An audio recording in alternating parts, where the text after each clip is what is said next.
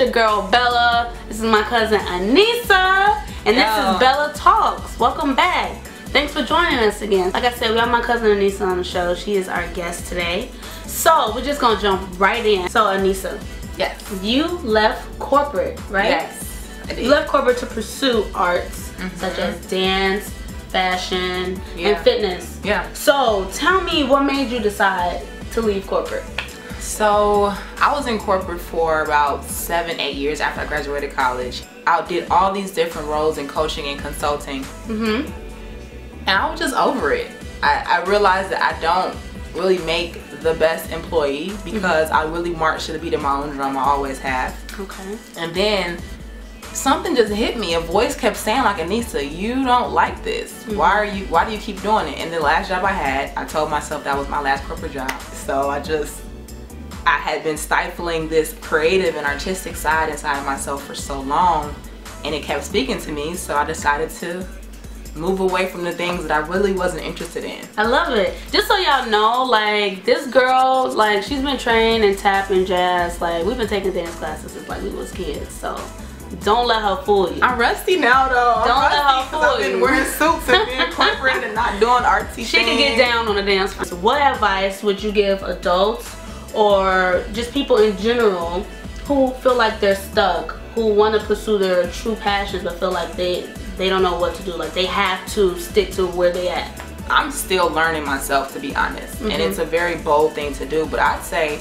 listen to the voice inside. And if you have something inside of you that's like, this doesn't feel right, I need to Mm-hmm. be doing this, this feels right, and that won't go away. We've all been gifted with intuition. Absolutely. We have to follow it. I'm a typically a really happy person, but there's always some type of sadness in me. And I think that sad, sadness came from me not doing any of the things that I really care She about. wanted to do. Yeah. Follow the voice. Don't feel like you're gonna have to have it all figured out right away, but take the first step and just do what feels right. Don't do what other people tell you to do. Yes. Rebel. No. Yeah, rebel. My questions for you. What are five things you look for in a guy? Hmm. The number one thing I would say is kindness. You have to have a pure heart and be kind, like not only to yourself, but to me and other people. If that's not there, Absolutely. we got nothing. I talk crap all day.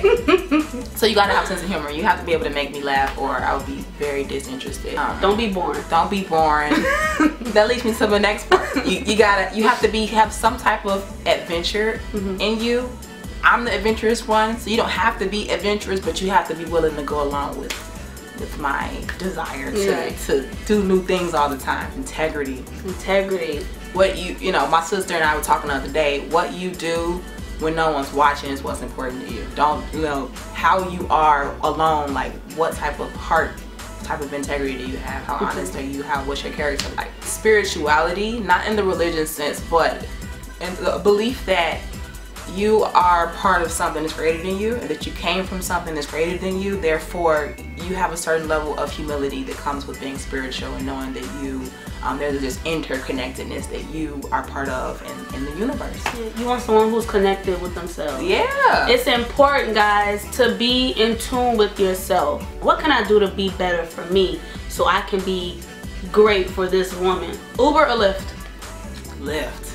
oh, and I, it's true because I used to take Ubers, and I remember I Ubered with you one day, and you were like, "I don't Uber. Ubers are creeps." South side or the west side? Outside all day, every Okay, day. south day. side. I want to jump back into spirituality. Yeah. Reflecting back on your childhood and understand what happened when you were a child and understanding it's not your fault for what happened to you when you were a child and trying to grow from that. Yeah. You know what I'm saying? Yeah. But spiritual, spiritual and mental health are very important. If you don't have that, growth is nearly impossible. You can have a career, you can have money, you can have bags. He can have money, bags, cars, but if you're not in touch with um, really what makes you tick and how you became the way you are and the things that you want to improve about yourself, you really aren't going anywhere. And nearly impossible to attract the kind of person you want to be with if you're not that yourself. So you have to become what you want. Women who are emotionally abused tend to date specific type of men. Yes. They may be narcissists, uh, possessive men, men who like to control you. It's unlearning destructive patterns. The truth is, ladies and gentlemen, you can do better. The time you have apart when you're by yourself, use that time to understand who you are Yeah. as a person. I feel like people don't do that. I know I like to dance. I know I like to, you know, do a lot of arts, but at the same time, like I like doing stuff like this. I like being Yeah. able to open up topics and discuss things that I feel like are important. I can be the best version of myself every day. I could be better every day. You just gotta trust yourself. Yeah. I touche to that. Touche. Yeah. Have fun in life. For a second, like really think about everything you believe in and question all of it. And really dig deep and see what kind of life you want. But life becomes really freaking awesome and interesting when you really start following what that little voice inside is like drawing you towards. Amen. Forget what other people tell you what to do and what they're comfortable with you doing and what they think you should be doing. So I'm gonna put her Instagram right here. You can follow her on Instagram. If you have any questions, hit her up. I'd like to say first, thank you for having me on, this, on your show. Isn't she awesome, Uh, guys? Isn't she awesome? I She's love awesome. her.